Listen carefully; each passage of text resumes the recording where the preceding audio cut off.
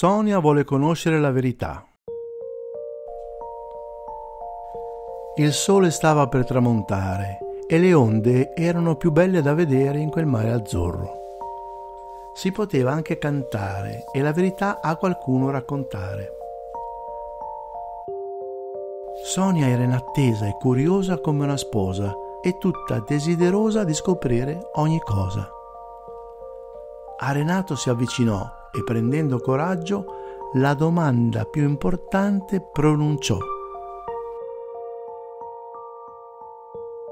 Renato, dimmi tutta la verità. C'è qualcosa che non va? Sonia, non farti prendere dall'ansia. Va tutto bene.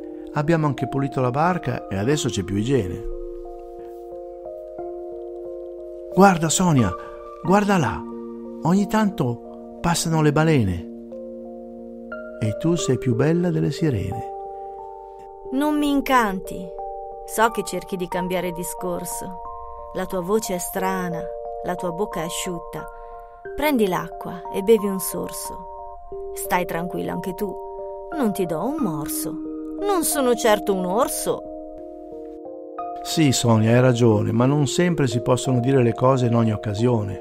Ci vuole il momento giusto. E adesso credo che non lo sia perché non siamo soli, ma in compagnia. Non mi faccio alcun problema. Ormai siamo una famiglia in questa barca che procede la sua navigata a meraviglia. Pippo e Geppo ora dormono e presto non li rivedremo più. Ma adesso dovrai dirmi quello che ti ho chiesto non molto tempo fa e lo voglio sapere adesso, prima che arriviamo al porto non lontano da qua.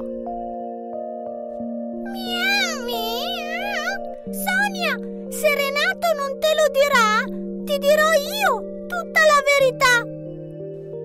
Mia golina, non essere impertinente e birichina. Ti ho insegnato a non intrometterti nei discorsi degli adulti e te lo dico educatamente, senza insulti.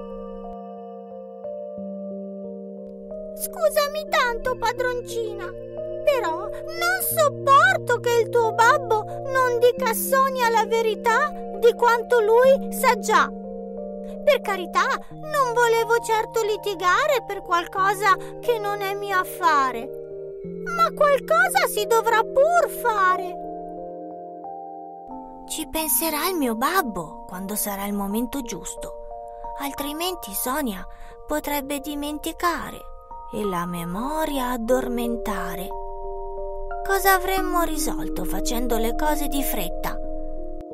Meglio che Sonia non sappia e ogni cosa le verrà detta.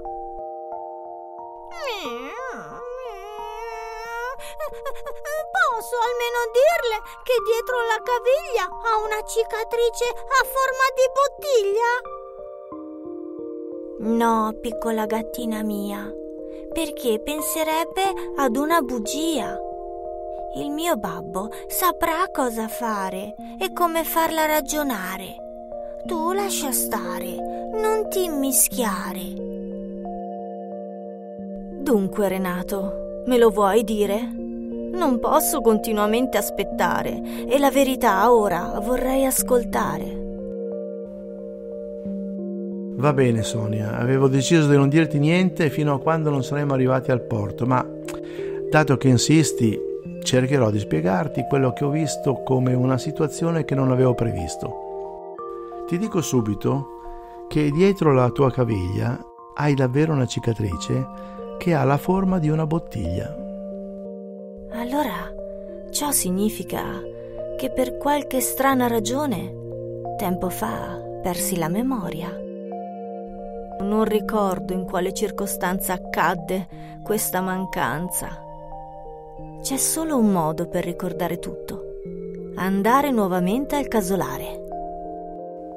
Eh, lo penso anch'io, cara Sonia. Così, rivedendo certi posti e luoghi nascosti, la memoria potrebbe ritornare, come un uccellino che vola via la sera e ritorna al mattino. Ti aiuteremo tutti e rivivremo con te giorni belli e giorni brutti. Per il momento, però, riposiamoci, non stanchiamoci. Dai. La barca intanto continuava a veleggiare e i marinai Pippo e Geppo erano ancora a letto a riposare, dopo che le vele avevano saputo fermare. La gattina miagolina era felice che Renato avesse avuto il coraggio di dire la verità a Sonia, anche se per metà, un po' per volta, e tutto a lei dirà. Come continueranno le avventure di Miagolina, la gattina birichina?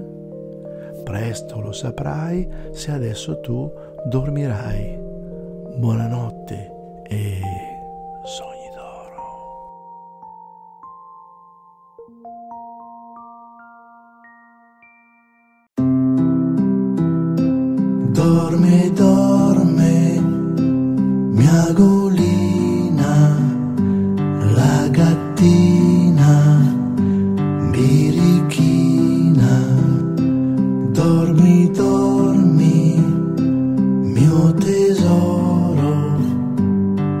la nanna e sogni d'oro, con te dorme mia golina, lei si sveglia domattina.